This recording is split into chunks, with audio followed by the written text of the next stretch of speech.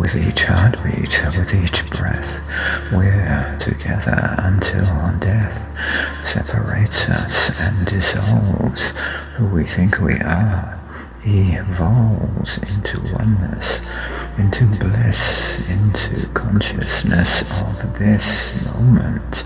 In eternity, released from ego and set free bodhisattva complex shunned, no rebirth again among human beings on the earth, much more trouble.